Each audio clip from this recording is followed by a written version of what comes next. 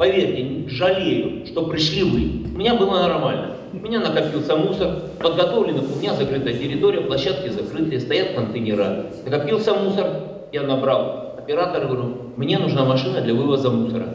Приехали, фактически объем забрали, я расписался в документах или мой представитель, потом я поручил, и мне выдали квиток, что с моей территории вывезли, допустим, 2 кубометра мусора.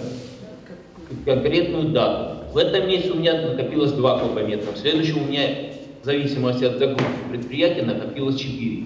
Значит, я оплатил 4. И в конце года отчитался Минприроды за объем мусора. В вашем случае получается, вы нам навязываете график, который вы сами считаете правильным, а у меня к этому времени еще мусора нет, потому что у меня стояло предприятие, стоял участок и не работал, контейнер пустой. График, повторю, расчет по нормативам или по объему. Извините, но получается я плачу за воздух. Я накопил мусор, я вызвал, его вывезли. Я гарантированно знаю, что год объем я оплатил. Ко мне претензий не будет.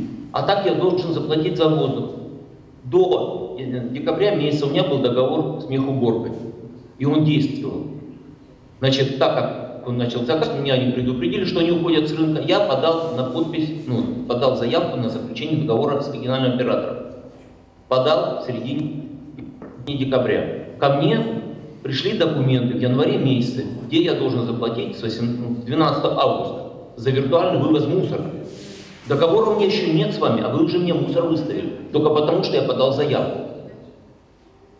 Да, и от выполненных работ прислали.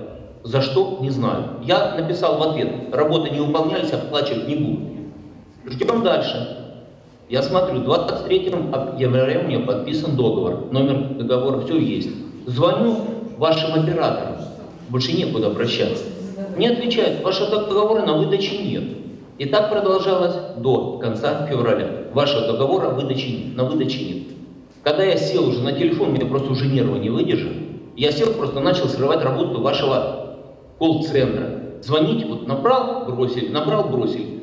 Тогда мне даже наконец добился, как, я не знаю, главный у вас руководитель, кто там вот колопер. Ой, вы знаете, ваш договор лежит на выдаче уже месяц. А почему он лежит? Почему мне не сообщили? Мы электронную почту давали. Не сообщили, что он готов. Это что за работа? С кем контактировать? Как вам можно доверять, если вы не хотите работать с людьми? Я не знаю, как кому обращаться, но мое мнение такое, как бы человек, который работает с этим делом. Вывоз должен быть по факту. Вывоз по факту, а не по виртуальным нормативным графике. Вывоз должен по вы, за того предприятия, когда оно накопило мусор и знает, что ему надо вывести.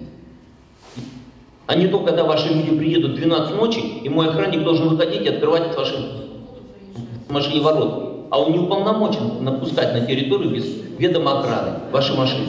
Никак, потому что я не знаю, когда вы приедете. Поинтересуйтесь опытом работы мехуборки, поинтересуйтесь. Люди работали, долго работали, и не было к ним претензий.